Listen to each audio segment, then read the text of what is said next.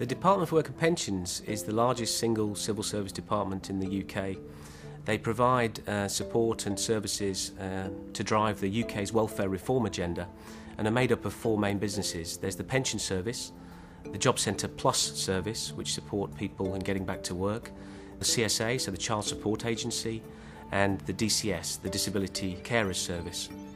We have dealings with 20 million UK citizens every day um, effectively, we administer and pay benefits to the unemployed.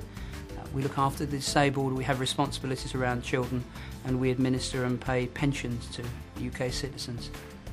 They uh, have an operating budget in excess of $16 billion a year, and they pay something approaching $180 billion in benefits to the most needy people in the UK. What we do and how we do it affects every UK citizen at some time in their lives.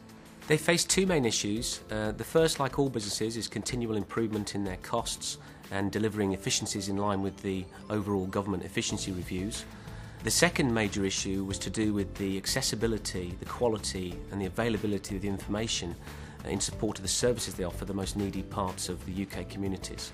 We had a situation where we had several different contracts that um, had been sort of legacy arrangements that we needed to sort of update and arrange and this gave us an ideal opportunity to bring those together and come up with a new arrangement.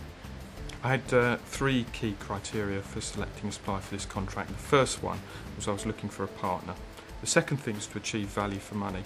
And third, we were looking for someone who had the capability and the competencies to push the boundaries of this arrangement forward.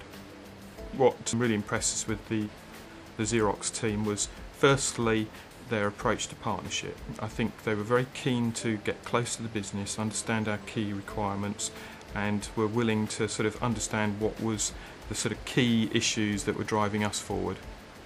A key component of our sales strategy was to create a vision in the department's mind of the breadth and depth of a document life cycle and supply chain capability that could be leveraged for the benefit of other public and private sector organisations.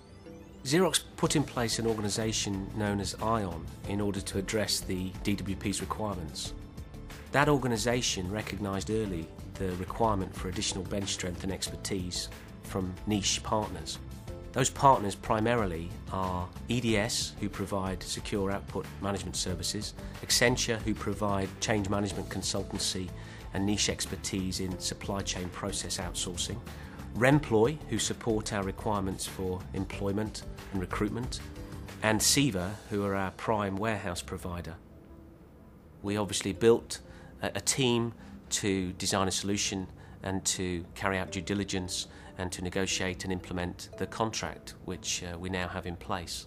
Ion are providing a range of services to the DWP, which include many of those services from our standard portfolio, such as reprographics rooms, print procurement, and warehousing.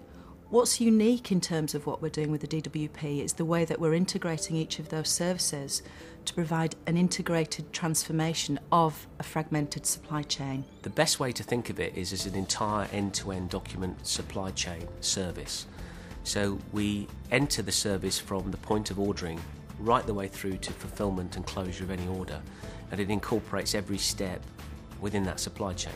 So we're responsible for order management, uh, supply and demand planning, inventory management, logistics, and uh, all of the necessary management information to ensure that uh, control is available and that invoices are presented and paid. We've invested in a dedicated contact centre to provide customer support in terms of queries and understanding where their products are at any particular point in time.